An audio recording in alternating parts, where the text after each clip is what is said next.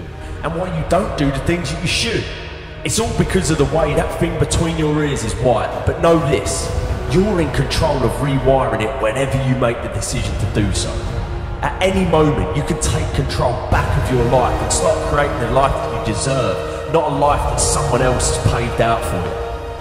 And when all of the struggle comes, all of the bad times, all of the dark times come around, which they inevitably will, you'll be strong enough to take it head on, and it will make you rather than break you. You have greatness inside you, let me tell you. Unlimited potential. But you have to train your mind. Every single day, things are going to happen outside of your control. The weather, terrorism, coronavirus. But you can't control any of that shit. All you can control is how you choose to look at situations. You can control the information you're letting in here.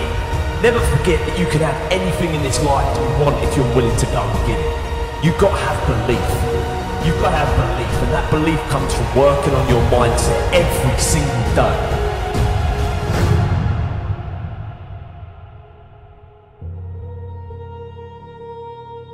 Remember this. You could be a victim of your life or the master of it.